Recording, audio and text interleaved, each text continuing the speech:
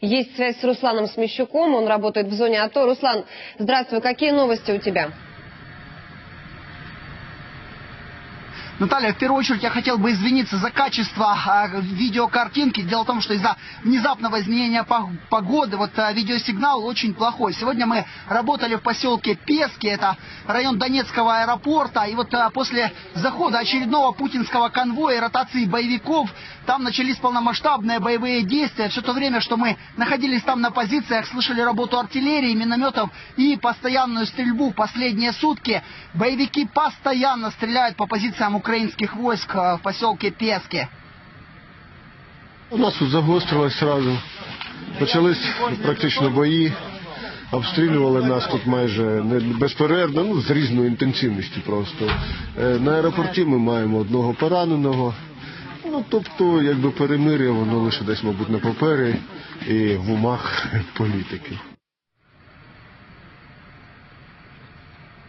Вот так же боевики при атаке на позиции украинских военных в поселке Пески, кроме тяжелой артиллерии, используют танки, снайперов и разведдиверсионные группы. В первую очередь пытаются выбить корректировщиков огня, таким образом ослепить украинскую артиллерию. Били прямою наводкою по точкам, які вони вже знають заздалегідь е, корект, ну, Ми коректуємо звітом вогонь весь нашої артилерії, наших бійців, які знаходяться на позиціях. І виходить, вони. Їм необхідно просто е, знищити наші коректувальні точки, тому що це є наші очі і наші вуха. Їм не вдається на даний час, бо наші всі хлопці швидко реагують на це і дають достойну відсіч. В поселке остается все меньше и меньше вот, целых неповрежденных взрывами домов, но там, прямо в эпицентре боевых действий, продолжают выживать люди, выживают без а, света, без продуктов, а, в условиях постоянных обстрелов. В основном это старики, которым просто некуда бежать. Куда ехать, сынок? Куда? Вам некуда? Некуда. Тут лучше. Свій дом. Погибну так вдома. А тепер нас двоє і двоє, четверо осталось. І там два, і там чотири. І все, люди тут.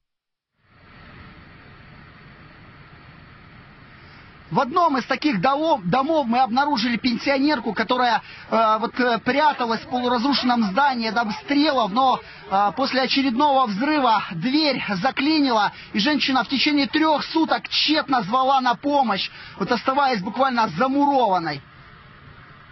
Три дни, да, вот так вот сюда? Да. Кричала, він подав від, що він Чому не ти чує. кричала? Мені кричала? Надю крик звала, хтось стукав. Сюди, сюди кричала, а що я через вікно я нічого ж не можу. І нікуди не пробувала, не можу вилізти. Я поковирала вже стіну, навіть кипятком, що я тільки не робила. Кучерашку навіть погнула і розгинала, і вигинала.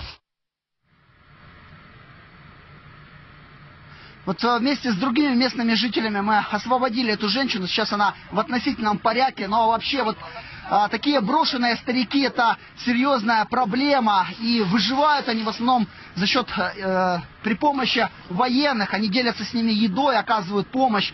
Э, также делятся топливом. Ну, на данный момент у меня все. Студия. Спасибо тебе, Руслан. Руслан Смещук был с нами на связи из зоны АТО.